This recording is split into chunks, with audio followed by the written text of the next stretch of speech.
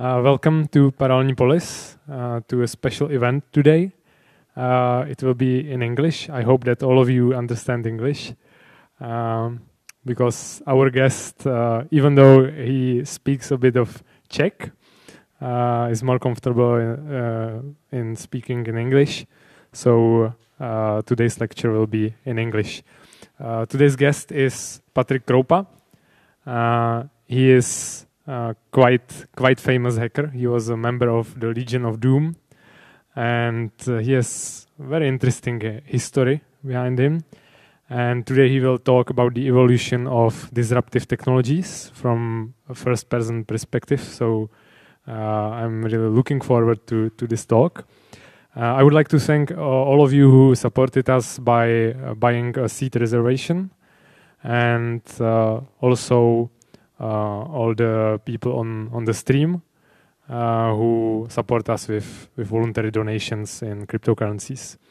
Uh, if you didn't support us yet and you like today's lecture, we would be very grateful if, if you decide to send us some, some small donation uh, as a token of appreciation. So, uh, Patrick will give a talk, and then we will have uh, some space for questions. And uh, just if if you have a question uh, in the discussion, raise your hand, and I will give you a microphone so that uh, people on the stream will also be able to hear your questions. Enjoy the evening, and I give uh, the space to Patrick. All right. Dě, děkuji moc. Je to, je to hezky být ve Praze, ale moje čeština není dost dobrá, abych udělal celou prezentaci v česky, tak to musím změnit do angličtiny. Um, my, my, my history with uh, with technology goes back to being about seven years old, eight years old, and getting an uh, an Apple II Plus computer back in the, the Stone Ages, and uh, that, that, that was interesting. You could you can do magical things with it. You can you actually install a shift key mod, which was a hardware hack that let you use lowercase letters, and then you could upgrade the RAM to an incredible 64K from the standard 48K that it came with. Um, anyway, so there there was there was this computer and over a period of time, you figured out what was possible to do with it. And especially at that point in time, it was possible to understand everything the hardware, the software, the operating system. It was just the dawn of time. Everything was pretty primitive. And uh, one of the most interesting things that happened was uh, software. So you're a kid, and there's all this software, and at the time, all of it cost you know, insane amounts of money, just like computers did, because, you know, to get an Apple II Plus and, you know, you get a disk drive for it. I mean, if you, if you really, really pushed it upwards, there were these things called Corvus hard disks, which gave you an incredible, you know, four point something megabytes of, of storage, which was much bigger than a floppy disk but but anyway, so the question became, well, how do you get all this software because you're a kid and you don't have thousands of dollars to go and buy it? So the answer is, of course, you you made friendships at different gatherings and uh, you you learned to crack software, and basically that that was piracy. That was sort of the beginning, and I'm talking about the late the late 70s, the very early 80s, and. Uh, groups of us got together and we would trade things. And uh, what was most interesting about software at the time was not really the programs themselves. What was fascinating is how did the software publishers protect it? What was the protection scheme? How do you make it so that you could make a copy of it because they made it so you could not make copies of it. And then, you know, you learned, uh, you know, how do you boot trace a disk? What is actually happening? How do you follow the entire process from the moment that the program starts? And how do you intercept that? And how do you deprotect it? And uh, that was, you know, the inception of the first pirate groups for personal computers. And uh, right around that time, the way that we communicated was on bulletin boards. It was called BBS systems. And uh, BBSs are pretty much what online forums have evolved into today, and social networks, things like that. And uh, so I, I, started participating in them, and we would, you know, call these different systems where groups of us would gather, and it was a very, very small world, comprised of maybe, you know, a few thousand kids spread across the world who had access to home computers at a at a very early stage. And what what happens is, like after the first month you get your phone bill and your your parents freak out because your phone bill is like two thousand dollars. And the reason for that is because, well, again, the, the, the internet wasn't there. You were making long distance phone calls across different countries, different states, all over the place, and it was extraordinarily expensive. So just like you know, why do you become interested in cracking software and, and understanding all these things? It was well, well, why does it cost so much money to make a phone call? How does this system work? And the answers were pretty interesting because it actually cost nothing to make phone calls or very little money, and it was largely profit by, by different phone companies.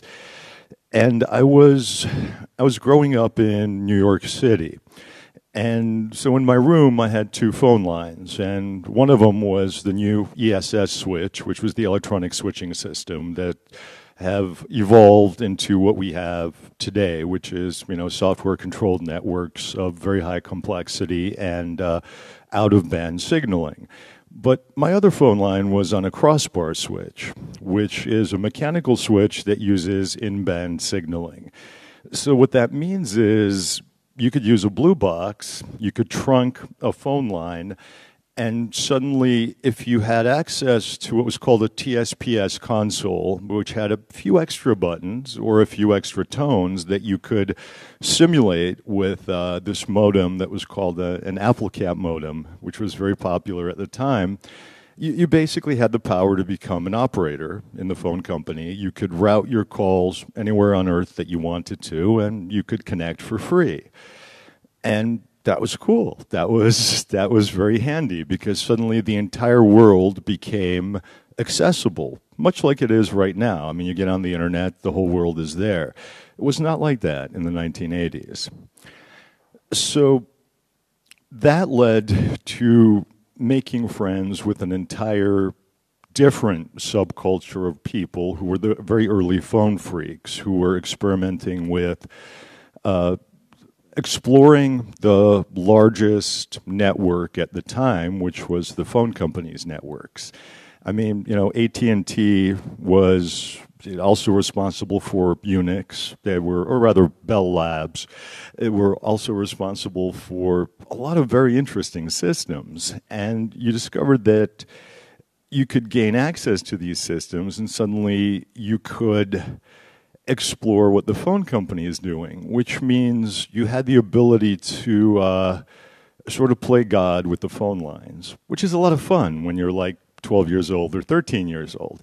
Like the phone companies at the time always claimed it was completely impossible for them to listen to other people's conversations. Um, well, that's not exactly true. That wasn't actually true at all. There's this feature called monitoring line quality.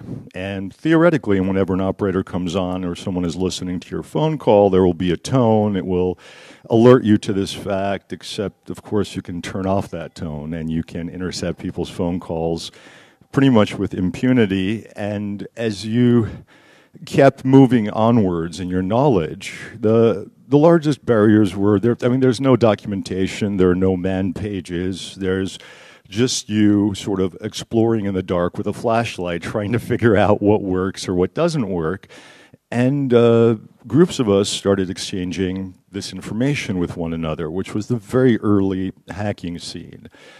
And eventually, people who were good at what they were doing got together and they formed these different groups who would, uh, well, explore the phone company's computers together and explore other systems and basically just see what was out there and see what existed.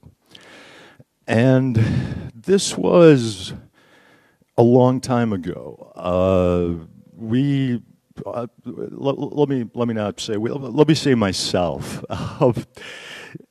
I engaged in uh, writing hacking programs that would basically allow you to get the codes for a lot of competing different phone companies and just make free phone calls. And then I gave that away to everybody who wanted to use it so they could all make free phone calls. And uh, we wrote one of the first viruses that existed for the Apple II computer. and uh, you know, it, it, in retrospect, was that a nice thing to do? You know, no, it, it was not. But the term teenage boy and sociopath are often interchangeable because at that stage in your life, you don't really understand the consequences of what it is that you're doing or what the ramifications are for some person who downloaded it and okay, their entire system just went away. And that was that was actually a really cool thing in the Apple II. You could uh, you type call negative 151, you would drop to monitor and uh, suddenly you entered COE9, COEF, I mean C0, it's you know hexadecimal, and basically those two actions would drop the head on the drive onto the platter, and then it would make the platter spin at random.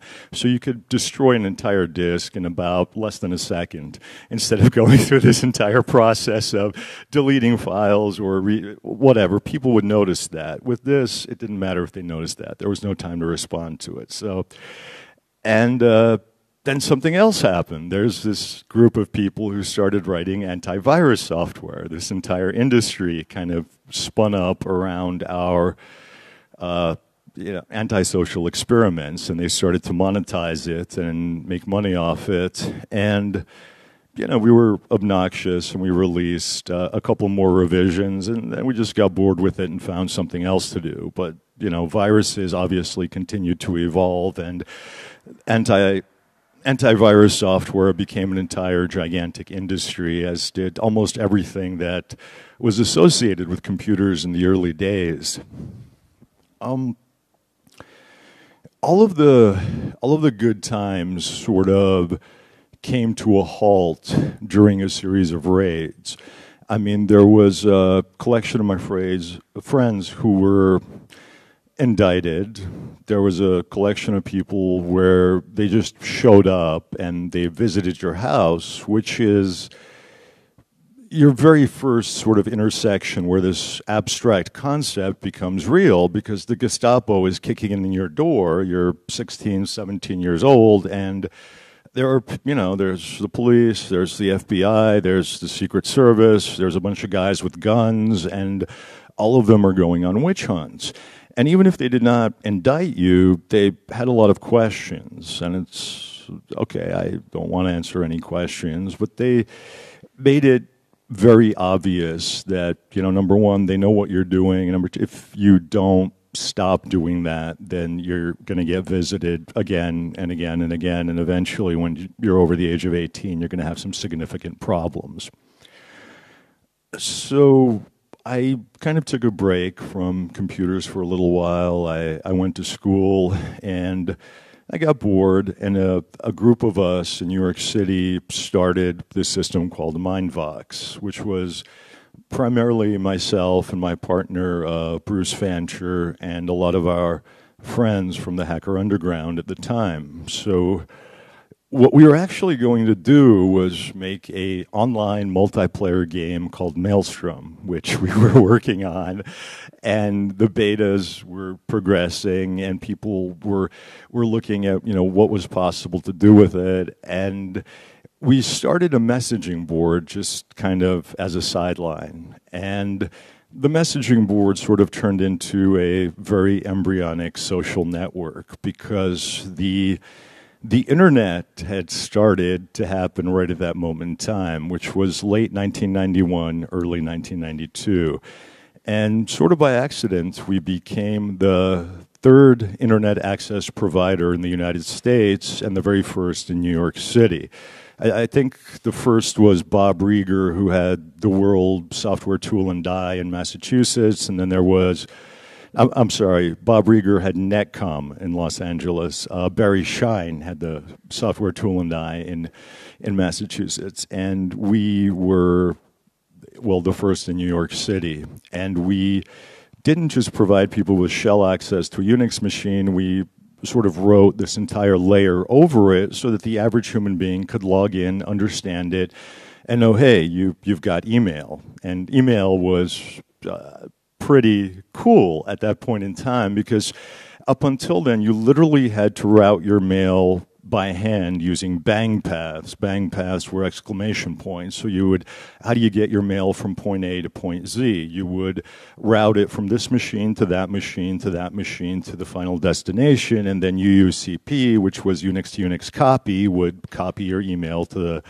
the final destination. And uh, we were right around the time that at signs started being used for email addresses, and uh, we, we put the whole system online so that it wasn't just people from New York City, it was people from the whole world could suddenly connect.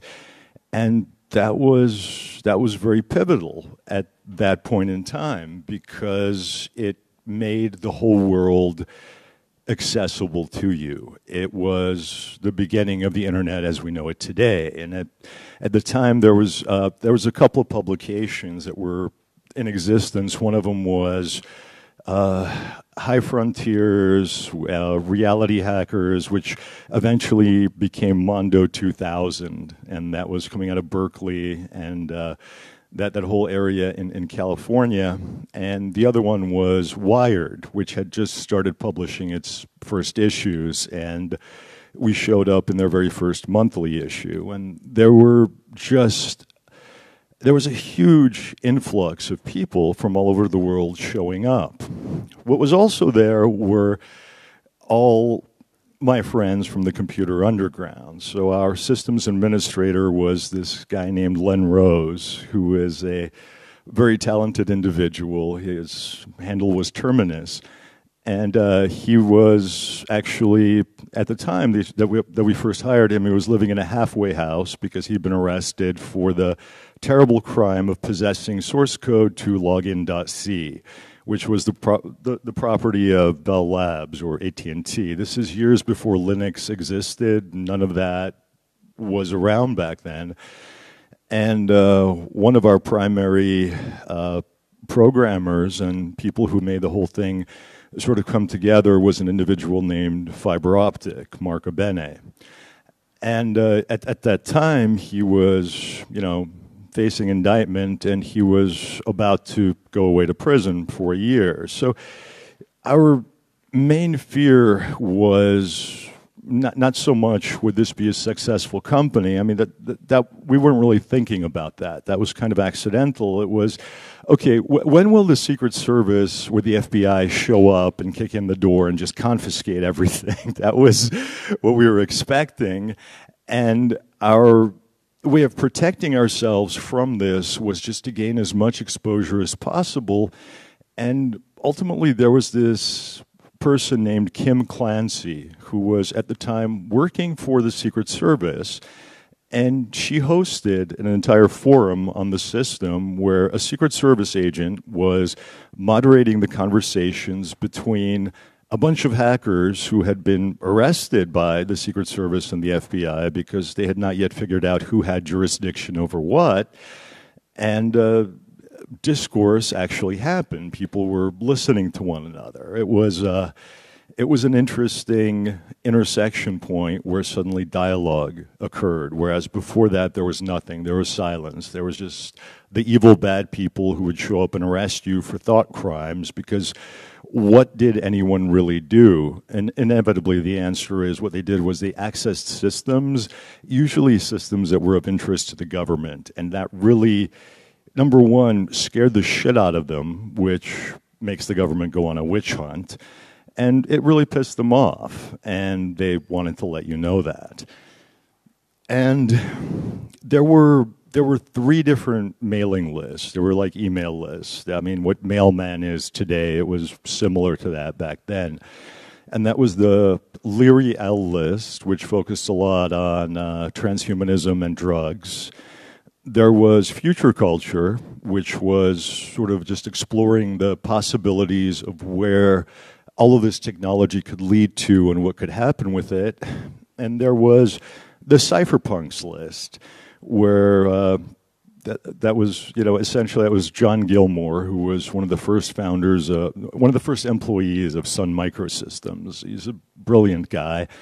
Uh, Timothy and uh, St. Jude, who was Jude Milhon, who was at the time one of the editors for Mondo 2000, uh, coined the term cypherpunks. That was the beginning, that mailing list, those conversations, and what immediately made it very relevant I'm sorry, what? Uh, this was the early 90s. It was probably 1992 to 1994, where, where all of this began to overlap and sort of intersect. And what made it all light up was uh, this guy named Phil Zimmermann who wrote the software called PGP, which was pretty good privacy and that was the first time ever that military grade encryption suddenly existed for anybody who wanted it.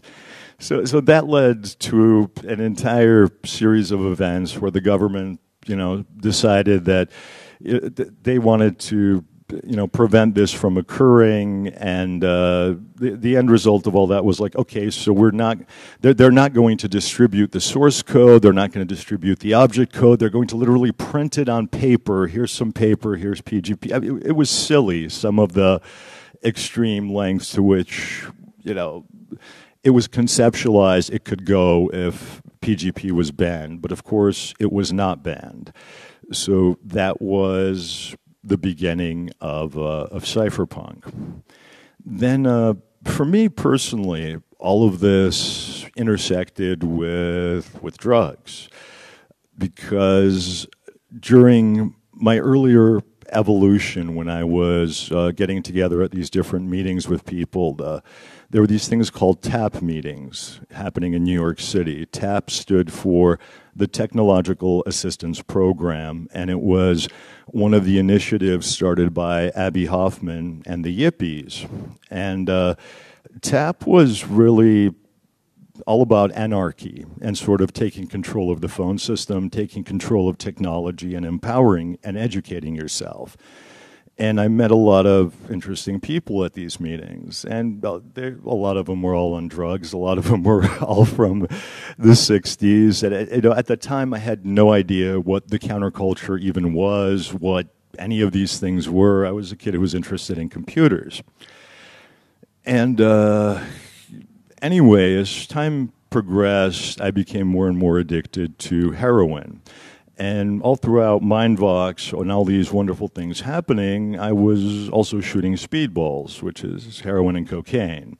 And I had become more and more addicted, and ultimately, I, I hit a very low bottom, uh, which is I, I turned 30 in jail in this place called the Tombs, which is in New York City, which is not, not, not a fun jail to be in when you're going through withdrawal. And that was that that was sort of the low point. That was the ending of Mindvox. We ended up selling, you know, selling out, get, selling the assets to other companies, and uh, by then I had tried every possible detox that existed because I had money, I had access to medical care, and you know what I discovered was that absolutely nothing worked. There was nothing that could get me off heroin or nothing that worked for me.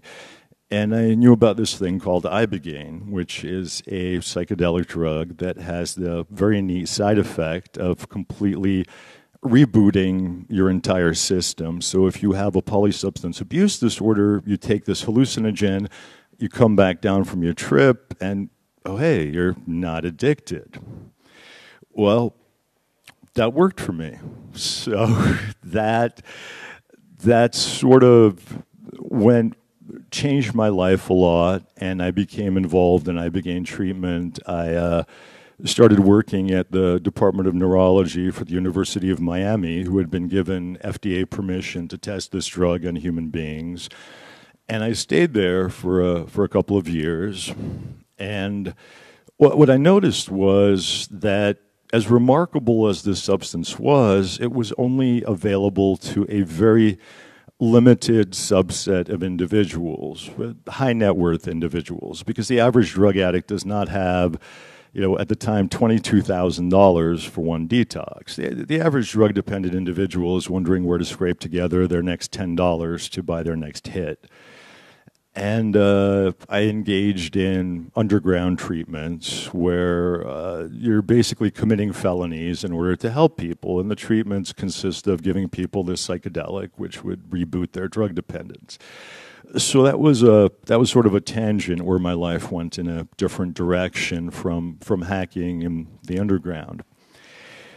Um, in in 20, 2010, I got a I, I, got a new Mac Pro, and that was that was always like a lot of fun. And it was like the last of the heavy metal dinosaurs when it was like, you know, the Mac Pro weighed 65 pounds. It was not just a computer, it was also a space heater because you turned the thing on, the ambient temperature in the room would rise by 15 to 20 degrees. It had 12 processors, or, you know, 24 if you believe in hyperthreading. But anyway, the end result was it also had a graphics card in it, and Cypherpunks had continued going, that mailing list, except now there was some guy talking about this thing called Bitcoin on the Cypherpunks mailing list. And I thought, okay, well, my computer is on forever. I mean, I never turn it off. It's a workstation. So why don't I start mining Bitcoins with this graphics card? And that was one of the things I happened to do at that point in time, which seemed to have no particular purpose except why not? It's interesting. It looks cool. I really like the concepts. Uh, I agree with all of this. And it wasn't until about two years later that all of that became extremely meaningful. I mean, I'm sure everyone sitting in this room has heard about, you know, the story of, you know, ordering two pizzas from Papa John's for 10,000 bitcoins. Um, the, the, the part where all of this became real was when Silk Road went online on the darknet, because suddenly all your play money, all this stuff that no one else understands, hey, I can buy drugs on the internet for free. Because what did it cost me to to mine all the, these coins? The answer is nothing but some time on my graphics card.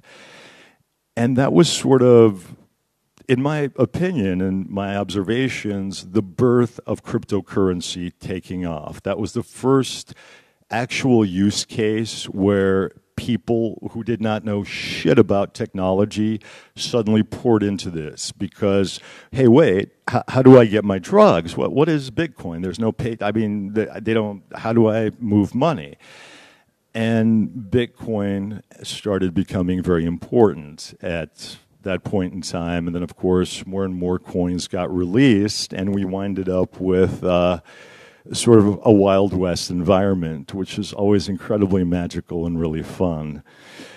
And uh, recently, I mean, the the government, of course, wants to stop everything, tax everything, reduce uh, autonomy and freedom and privacy. I mean, the the book by George Orwell, 1984, it, it, it took a few decades, but we we live in it right now. We live in a surveillance planet where everything is watching you all the time. You don't have any privacy if you're connected to the internet and you do not take very specific measures to protect yourself. And did all of this happen because of, you know, government mandated controls or what? No, I mean, it, it, it basically happened because, because of this. Oh my God, it's cool. It's brand new. I need this. And this is following you around. It tracks you. It listens to you. Everything is designed to strip you of your privacy. Now, I mean, the NSA and many other organizations are very busy collecting all the information they can possibly suck down on, on everybody. But the reality is, what, what did the great promise of the internet turn into? It turned into micro targeted advertising and a bunch of companies that want to sell you shit. I mean, Google is not one of the biggest companies on earth because of most of the rest of their initiatives, they're the biggest company on earth because they have splattered tiny little text ads over every square inch of civilization. And people want to have a better understanding of how to target you and sell you things. And the larger social networks started spinning up. And of course, people poured themselves into those because, hey, this is cool. This is really interesting. And, you know, now, right now, there's a lot of backlash against, for instance, Facebook and, you know, their lack of protecting your privacy. But really, you know, if you rewind time back to some of his initial statements before he had advisors, before he had a higher level of sophistication regarding what he should or should not say, Mark Zuckerberg gave a very realistic answer. Why would people give you all this information? Because they're dumb fucks. Because people do not know or understand the ramifications of what they're doing. You give away your privacy. And most people give away their privacy every time they access the internet. So there are ways around that. There are ways to retain your autonomy. There are ways to retain your individual privacy and, you know, do as you would like to. And with uh, cryptocurrency, the interesting thing is there is the actual possibility of decentralization, where the classical power structures that control different societies begin to lose that control over people who opt out or opt to take a parallel path through uh, through life or through at least parts of their existence. And that's sort of where we've arrived today. I mean, it's not exactly utopia. I mean, is Bitcoin and cryptocurrency manipulated? Fuck yes, it's manipulated. but um, there, there's there, there's a couple of companies that are really magical at that. You know, of course, Bitfinex and Tether. Tether. I mean, these are my opinions and observations. But Tether amounts to you know, give us a dollar and it's worth one U.S. dollar maybe, or give us a dollar, thanks very much, we spent it. And it's not actually there. And, you know, during, during the last, it's been a bad six months. I mean, the market cap for all of crypto has gone from about 850 billion thereabouts down to where we're at today, which I don't know, bounces between 250 to 300 billion or something like that. But it's not going away. Uh, investors who were previously very leery of cryptocurrency have started publicly supporting it, Soros in, in particular, and uh, individuals who have made a lot of money with cryptocurrency, many of them accidentally, because the early, early adopters, I mean, it's kind of like me. It's like, why do this? Well, why not? No one was really sure what was going to happen, but they have taken money and poured it into a variety of funds, such as the Pineapple Fund, which is being used to fund psychedelic research. Uh, there's a lot of altruism, there's a lot of philanthropy occurring, and there's a, a fundamental shift in society happening. I mean, right now, one of the interesting things in the US is the concept of establishing a crypto utopia in Puerto Rico. I, mean, I don't know how that's going to pan out or what's going to happen with that, but again, all of these things are progressions of what came before and building upon them and sort of reaching outwards from there. We're at a very interesting point in time as everything accelerates very rapidly. And I guess the, the, the big question is are we going to attain freedom and autonomy and decentralization where this mythical as this mythical thing called the singularity, where we sort of cast off the limitations of what it means to be a human being, or are we really busy creating AIs and super intelligence, which is maybe not the world's greatest idea? I mean, is it such a wonderful idea to create something which is orders of magnitude smarter than you are? Well, maybe not, but we're about to find all these things out and that's that's pretty much it. That pretty much takes us into today and where we're at right now, and what places like like this are doing, which is gathering together, you know, individuals who want to maintain autonomy, privacy, and control over their own lives. Um, thank you very much.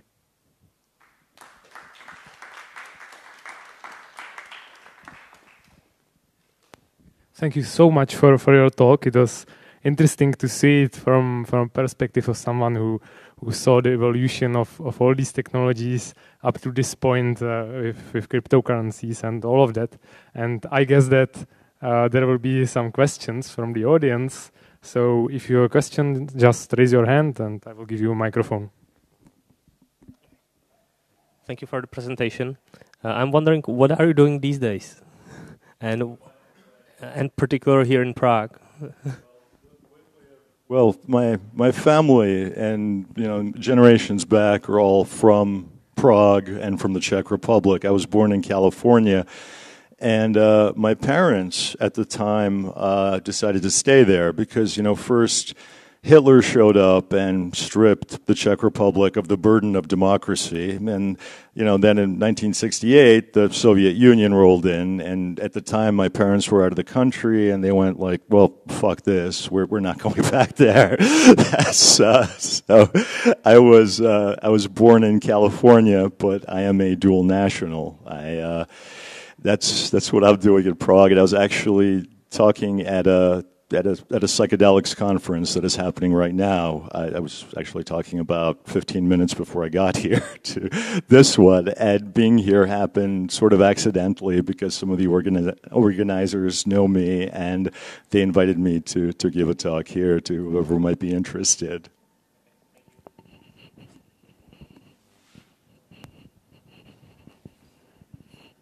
So, more questions? Is it on? Yeah. Hey. Okay. Um, so I've been only like reading and knowing about this since like February, and I've mostly been working with people who are more in the like ICO and make a quick buck off crypto side of things. Yeah. So to hear that there's like uh, you know like philanthropy and and like nicer things, so to speak, going on with it. Um, I'm really curious about it. And I don't know if this is uh, going to come out more like a comment or a question, but what do you think about um, considering that you know crypto that started out as a like an ideal uh, for like uh, just freedom and privacy and stuff has like kind of been co-opted in itself by capitalism and uh, well it, it, it's interesting because I was at this event that was organized by a friend of mine named Mark Margolius called uh, Crypto Psychedelic in, in Tulum. And, and the most fascinating thing about being there was just the group of people who showed up. So you'd have one guy who's literally covered from head to toe in glitter, and he's got a unicorn horn coming out of his head and he's vaping DMT, and he's having a conversation with a guy from South Korea wearing a three piece suit about cryptocurrency. And they both share pretty much exactly the same interests. So it's an interesting mashup of, of energies. And yeah, I mean, personally, I mean, I was, I was an addict. I and you know gambling is fun and all the all the shit coins and all the ICOs and all of that. That was it was very entertaining in the last year. There's a lot of opportunities to make money and I'm you know gambling is fun. It's you know there there are all these different coins where they're powered by technology so advanced that it doesn't actually exist and there's just this white paper a bunch of hype you can buy into it and then you're, you're basically doing a pump and dump. You, you hope to get a bunch of the coins on their way up, then run back into Bitcoin and let it all fall down and explode. That may be curtailed by some sort of government initiatives in various countries, but one of the simplest things that would curtail that is just if the different exchanges, you know, held something for three to six months. Okay, here's here's an ICO. Here's this new coin. Here is our roadmap. So does anything at all actually happen after the initial ICO, or do they just spend the money and vanish? So if nothing happens, there's no technology backing the coin, then maybe don't release it because I would have to, you know, agree with your comment there. And you know, 85 to 90 percent of everything is a Ponzi scheme. It's very similar to penny stocks and it's very manipulated. There are very few coins or uh, tokens, if you want to call them tokens instead, that actually do something useful and are not complete garbage.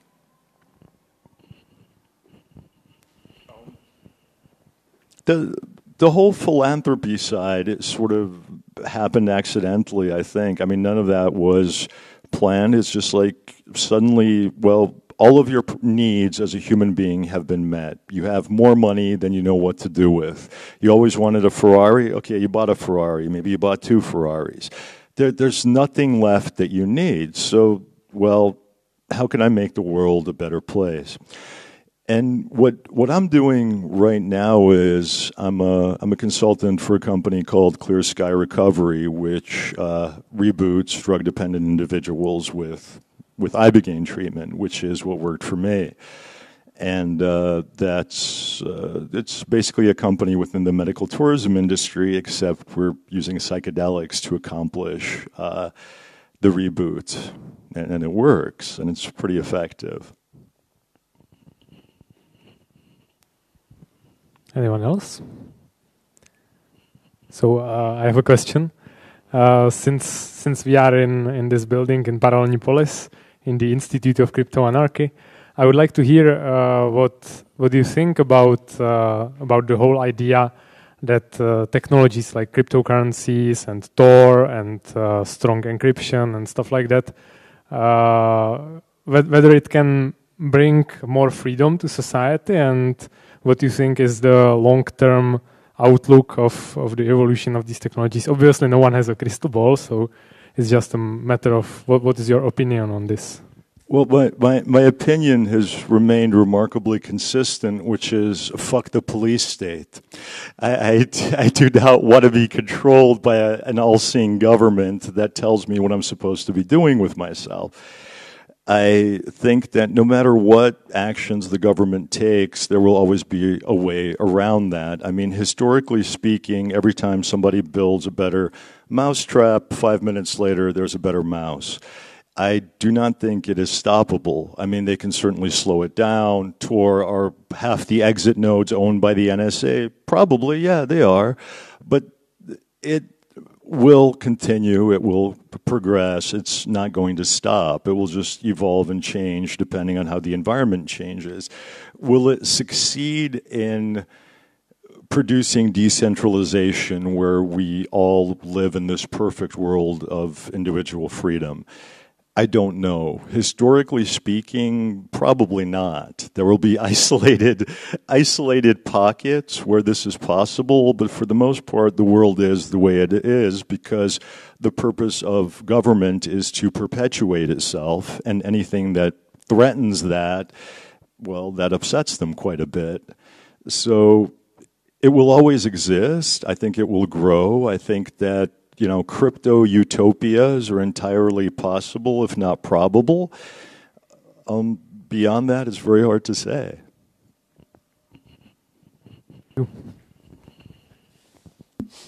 Hi. Has the battle been lost with the loss of net neutrality?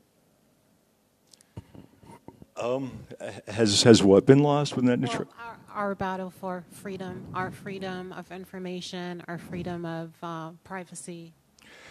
I, I, don't think it's been lost with the, the death of net neutrality. I mean, they, they've been trying to do that for a long time, and it may shift the balance slightly. But I mean, the internet is very resilient. I mean, it was created by DARPA, and I think their design goal was to create a decentralized network that could not be destroyed by taking out a central point of authority pro- they, they, succeeded, probably much to their regret. So it's that that no, I don't think that the death of net neutrality, which is temporary, I believe, is going to end everything.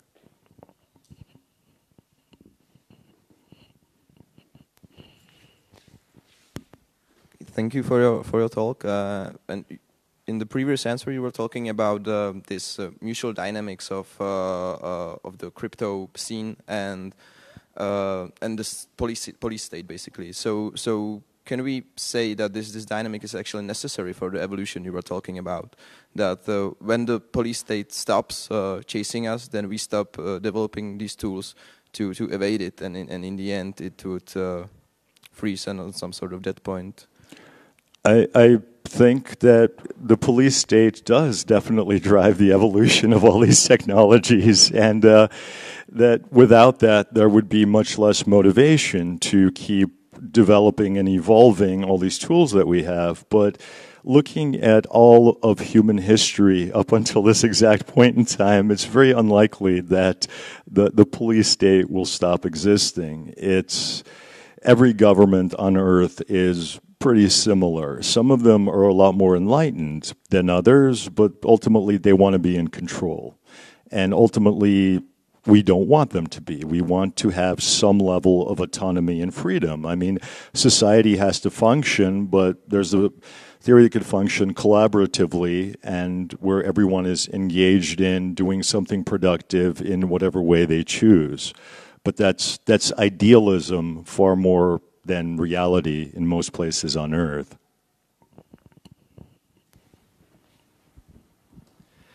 In your opinion, um, how important was uh, the influence of psychedelics on IT industry? It was incredibly important. If you if you look at the, the evolution of all these different technologies, you know, let's see, Steve Jobs doing LSD was one of the single most important things I've ever done in my life. John Gilmore, well, John Gilmore is that guy I mentioned back then on the cypherpunks list. Cypherpunk list. I mean, he's one of the board members of MAPS, which is the Multidisciplinary Association for Psychedelic Studies, and he's not very shy about sh- showing up at Burning Man. There's uh, there's quite a few people. I think Bill Atkinson just very lately came out and said, "Yes, I, I wrote Hypercard because I did a lot of acid." Um, there are large numbers of people I know who actually have no interest in psychedelic drugs or blowing open their minds. They have never done a large dose of LSD, but they microdose. Why do they microdose? Because it allows creative problem solving to happen. Your brain works differently. Neuroplasticity is re engaged, and you suddenly have the ability to think different, to borrow a line from Apple. And do you see any, or do you have any predictions how uh, crypto scene will help uh, in research on uh, psychedelics? Well, it's already helping in research on psychedelics, such as the Pineapple Fund, which is, you know, basically giving money away to organizations that are working with psychedelics or working with medicalization research and, you know, why did research with psychedelics end? Well, they ended because they really upset the government. I mean, why are psychedelics against the law? Is it because a benevolent and caring government deeply cares about you? No, they don't give a shit. They're, they're, they're against the law because when people do an entheogenic compound, I mean, entheogen, the very definition is, you know, seeing the divine within. You generally in technology encounter groups of people who are not particularly spiritual, who are not really that interested in religions. They, they're they're very intellectual. They think about things. If you take a psychedelic drug, you don't need belief, you don't need faith, you don't have to believe in anything. You just attach this molecule to your receptors, and suddenly you have a completely different perspective on what the world might be. Um, technology and psychedelic drugs, and I would go so far as to say human evolution itself, are very intertwined.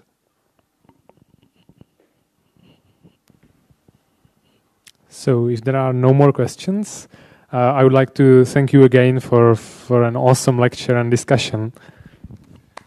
Th- th- thank you very much. Je to moc hezký být ve Praze. Dobrou noc. And uh, I would like to uh, say thank you also to the people on stream. And uh, if you liked uh, today's event, uh, we would be uh, very glad if you decide to um, send us a small donation and if you come for more events in the future. have a nice evening.